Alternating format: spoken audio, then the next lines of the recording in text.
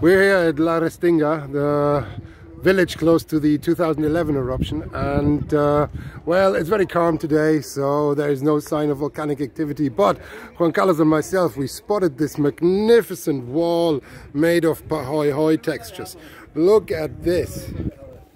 So here they have taken pahoehoe surfaces and uh, they made them into cladding stones and uh, Juan Carlos is going to say a few words about this okay. now they are very nice as an ornamental, but it's very damaging because they take the, the surface of the lava make, and they make a, a big damage to lava flows. Actually, this the surface, the upper surface that is called pahoehoe from the Hawaiian term of a sea that is very quiet, uh, has many different uh, many different features because the lava flow, when it's almost solid, continues flowing and make all these kind of wrinkle ridges. Wrinkles, uh, yes. Tri, uh, corded, uh, whatever, many things. Uh, ropey lava is another this term. This is the, the, the, the lower part. It's the inside, exactly.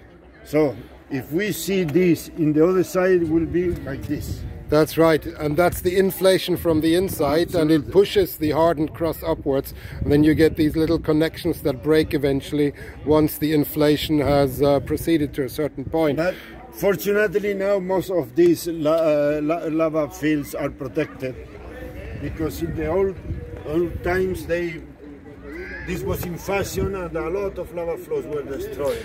Yes, this is a real pity and uh, I just hope that uh, these were coming from an area that was not uh, protected, but I guess we don't really know. Yeah.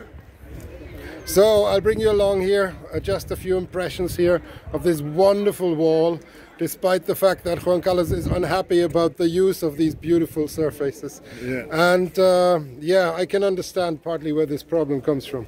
And here in the other side of the of the path.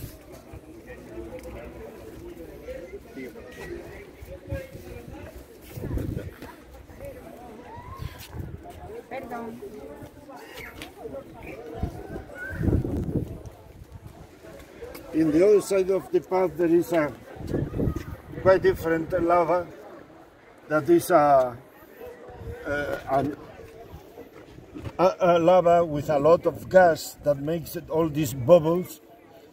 And because of these uh, bubbles, they used to make the mill wheels.